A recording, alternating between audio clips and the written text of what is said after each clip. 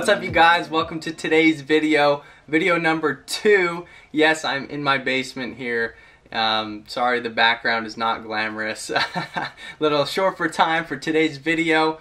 Just wanted to pump out something for you guys that you can watch really quick, two, three minutes long.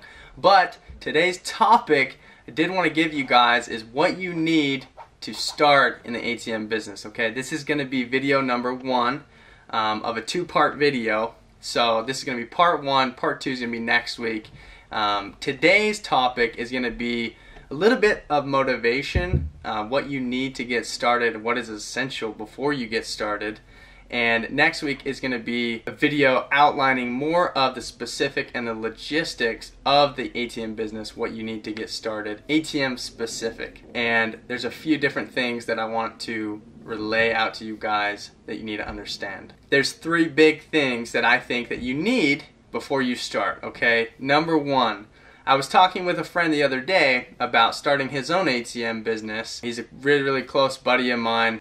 I was talking to him about what he need would need to get started, and he was telling me he wants another passive income source for himself. What I had told him was, I said, look, you need to understand one thing before you get started. This isn't a get rich quick sort of scheme, okay? This isn't a get rich overnight.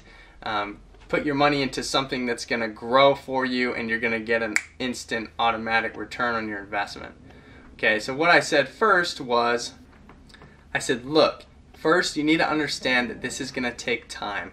This business model is not meant to get you rich quick or overnight, okay? This is something that you have to be in for the long haul, okay?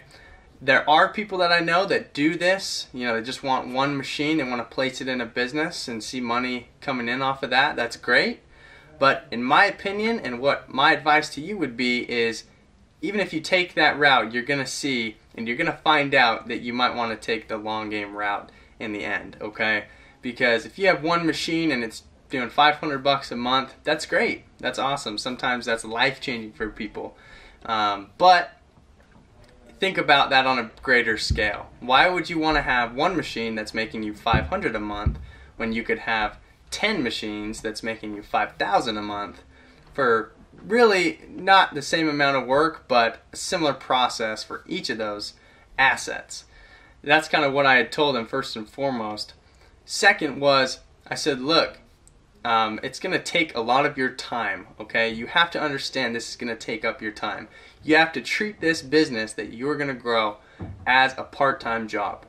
You have to treat this as a job that you are in charge of that if you don't put your time into, it's not going to go anywhere. You're going to have to invest a lot of your time driving places, meeting with owners, eh, cold calling, cold emailing, extending your services and your products to different owners who don't know who you are, different event coordinators. You have to think of outside the box solutions for how you can grow this business and how you want to scale this thing long term that would be my first advice. Before you start anything, if you are not able to put time aside in your weekend to start, I did on my weekends because I had two full time jobs.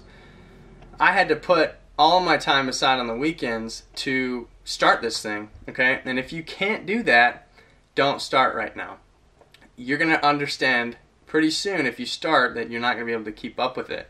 So you have to make sure you put your time aside to specifically work on this business, okay? We've been doing this less than a year, okay? But the amount of hours that I put in is probably pretty similar to a part-time job, okay? I've put 20, 25 hours a week into this thing. And sometimes I put only 5, 10, you know, hours in the week into this business because life gets busy. And that's the key is you're going to get busy. You're gonna have life that happens okay? You're gonna have different things going on in your life that you need to take care of. You're not always gonna have time to work on this. So i'm saying you need time to work on this but not always will you have time to work on this hence why it's gonna take longer for you to grow it and lastly, you're gonna have to understand that you're not gonna know shit when you start. You're not gonna know everything. There was such a big difference for me when I had been researching and studying and networking, talking with these different ATM owners, joining these different Facebook group chats, learning all I could, and the first time I went to an event, which scared the hell out of me, quite frankly, to go to an, an event where I knew what I needed to do, but I had only seen these things or heard of these things. I never actually put it into practice, okay? And it was very interesting the first time that I actually saw somebody take their card, put it in my machine, get cash out, and that surcharge went to me. It was honestly really exciting, but my point is, you're not going to know how to do everything, okay? There's a certain point in time that happened at the event. Power went out, right? I was freaking out. I was like, oh my God, I'm losing all these transactions. I'm, I'm being a disservice to all these people. And those are the things that you have to overcome. That is what a true entrepreneur is. You have to solve problems. You have to think outside the box. You have to find solutions that you wouldn't normally find solutions for.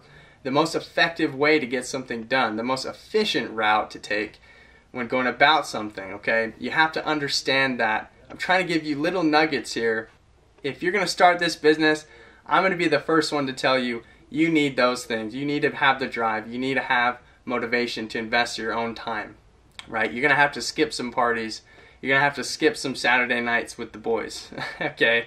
You're gonna have to invest time that other people normally wouldn't want to. You're gonna have to be alone sometimes doing different things. You're gonna have to figure shit out at the end of the day, okay? That's my advice to you.